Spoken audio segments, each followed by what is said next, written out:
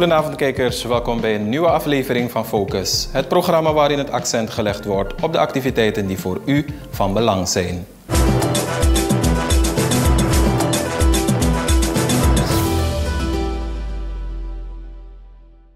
Vandaag in Focus. Shivanan Ramlal neemt roer over bij Directoraat Nationale Veiligheid. Leiding ministerie van Defensie gaat in op actuele vraagstukken. Ministerie van Financiën en Anton de Kom Universiteit van Suriname ondertekenen intentieverklaring. En moderne vaccins in Suriname zijn veilig.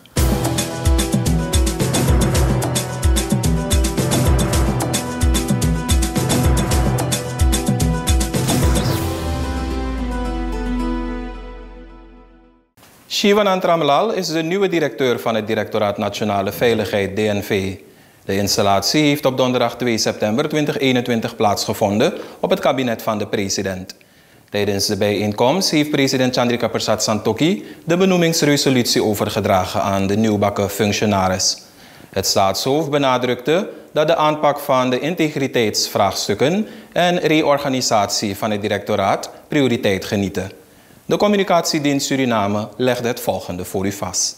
Het is een plechtig moment vandaag, bijzonder belangrijk moment vandaag, waar wij zeker een paar markante zaken zijn die genoemd kunnen worden.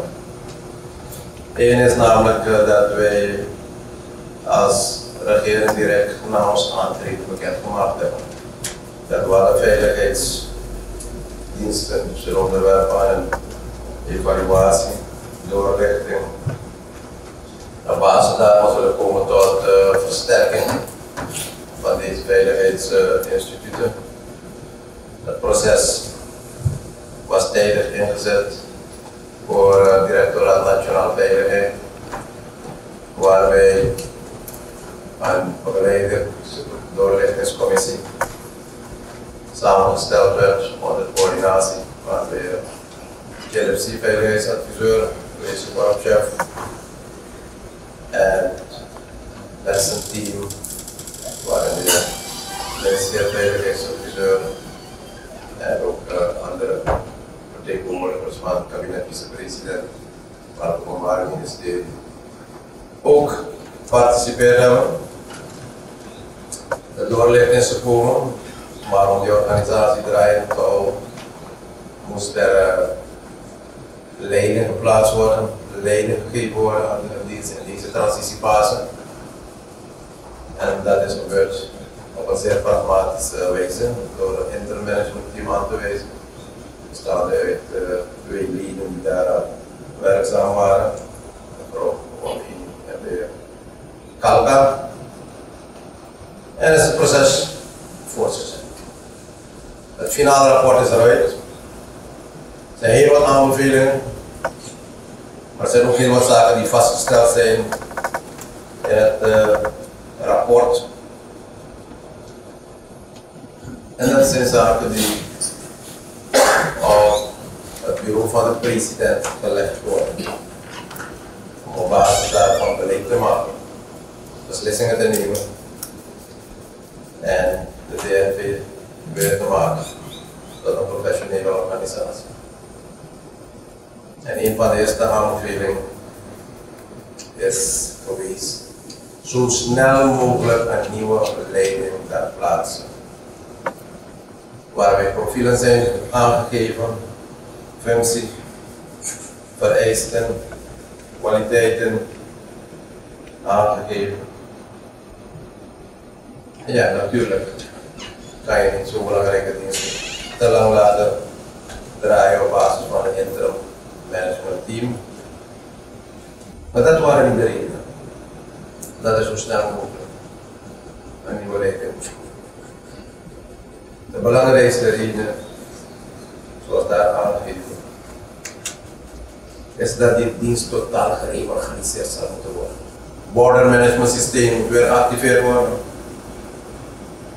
Regionale samenwerking, internationale samenwerking lokaal goede overlegstructuur. Gelukkig hebben we nu het Nationaal Veiligheidscommissie, waar goede coördinatie kan plaatsvinden.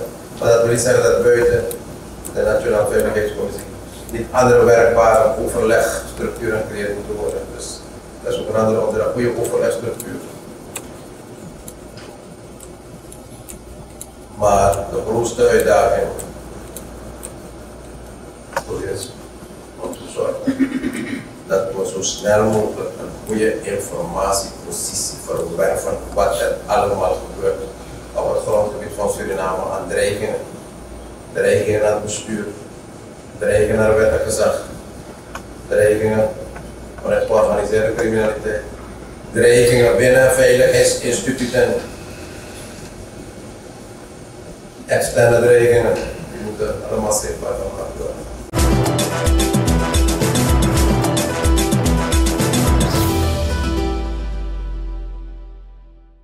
De leiding van het ministerie van Defensie is tijdens een persconferentie op donderdag 2 september breedvoerig ingegaan op actuele vraagstukken betreffende het defensieapparaat. Minister Krishna Kumari Mathura heeft hierbij het beleid met betrekking tot de veiligheid van de Republiek Suriname gedeeld met de pers. Zij bleef ook stilstaan bij de vorderingen betreffende het beleidsplan 2021-2026 van het ministerie van Defensie als ook de rol van het leger bij het beheersbaar maken van de COVID-19-pandemie. Nou, dat is op het gebied van veiligheid. We proberen zoveel mogelijk samen te werken.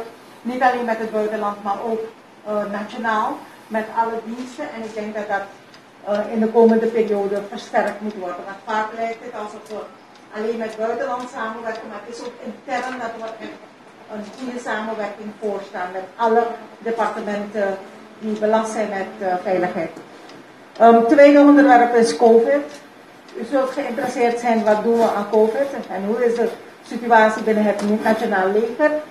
Um, wat we merken is dat de situatie niet anders is dan de situatie zoals dat is in Suriname. Ongeveer 25% van de mensen zijn volledig gevaccineerd. Iets meer dan een hogere percentage die uh, tot nu toe één prik hebben gehad. Um, op dit moment we hebben vier vaccinatiedagen georganiseerd. Zoals u hier zit is er nu één gaande in het, uh, in, het uh, nationaal leven. Dus op dit moment. We proberen zoveel mogelijk te werken aan bewustwording, maar ook zoveel mogelijk te faciliteren. Dat mensen uh, kunnen worden gevaccineerd. Wat we merken is dat bijvoorbeeld bij sommige eenheden het percentage iets lager is. landmacht van ons is een veel grotere eenheid, daar is het percentage iets lager, maar daar proberen we dus extra uh, maatregelen te treffen om mensen bewust te maken. Wat we merken is dat de bereidheid om te vaccineren iets aan het groeien is en daar zijn we dus heel erg blij mee. We dwingen mensen niet om te vaccineren, maar we moedigen mensen aan zoveel mogelijk om te vaccineren. We proberen ook uh, in het kader van de beheersing van de COVID-pandemie zoveel mogelijk andere diensten te ondersteunen, volksgezondheid, uh, BOG, uh, RGG. En dat doen we niet alleen met manschappen, we doen het ook met materieel. Onze ambulances zijn ingezet, uh, onze hospitalen werden ingezet en zijn nog steeds ingezet. En we hebben een vaccinatieteam vanuit het militair hospitaal volledig en we proberen zoveel mogelijk. We hebben ook een COVID-team binnen het militair hospitaal die dus eigenlijk dat stukje coördineert en ondersteunt. Binnen het Nationaal Leger monitoren we elke dag het aantal positieven. We hebben gezien dat in vergelijking met twee weken terug dat het aantal positieven een beetje is toegenomen en we pakken het gelijk op en we proberen direct uh, die bewustwording te vergroten en, en snel te zorgen dat het weer uh. Verder, um, op het gebied van personeel. We weten dat voor ons leiderschap heel erg belangrijk is. En we hebben dus de leiderschapsfuncties ingevuld van de eerste lijn. Zowel op het niveau van de directie van het ministerie als uh, de leiding van het Nationaal Leger. Recent hebben we de tweede lijnsfuncties ingevuld na een geregelde selectieprocedure. Daar heb ik dus met officieren een ontmoeting gehad in de kazerne om ze inspireren, te motiveren. En ja, dat is heel belangrijk voor ons, dat we in contact blijven en in communicatie gaan met al onze officieren, want uiteindelijk moeten zij sturing geven aan afdelingen die onder hun vallen. Dus de tweede lijn pas ingevuld. Verder is het belangrijk voor ons dat we rechtspositionele zaken afhandelen. We hebben iets met het geluid. We hebben in de afgelopen periode bijna 1800 beschikkingen getekend die allemaal te maken hebben met vaste aanstellingen, rechtspositionele zaken.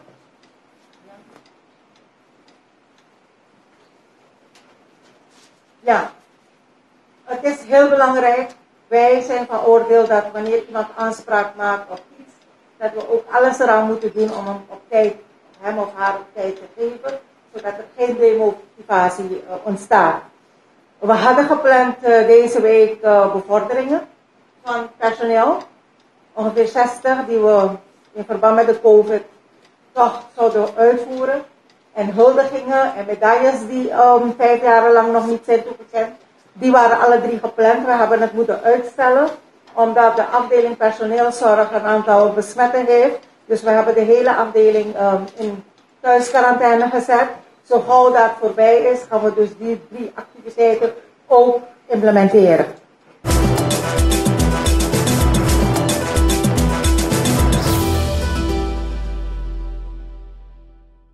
Het ministerie van Financiën en Planning en de Anton de Kom Universiteit van Suriname hebben een intentieverklaring getekend. Beide instanties gaan samen in zee in het kader van het herstelplan. De universiteit zal door middel van het beschikbaar stellen van kennis een bijdrage leveren aan de wederopbouw van het land. De bevestiging van de samenwerking vond plaats op donderdag 2 september 2021 en wel ten kantore van het ministerie.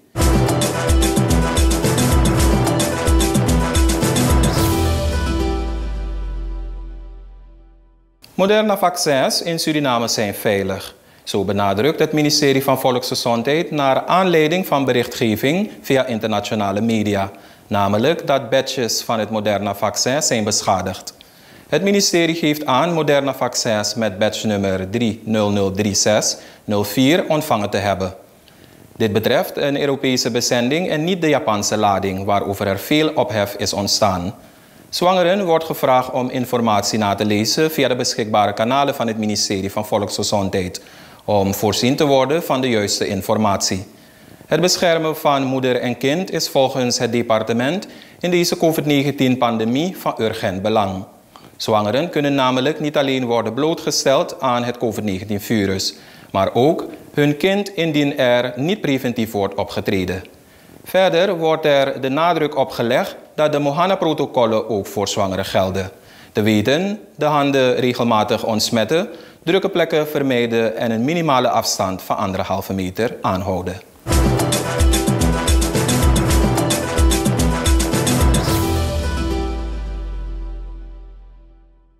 Kijkers, dat was Focus. Ik bedank u voor uw aandacht en wens u een prettige kijkavond verder. Goedenavond.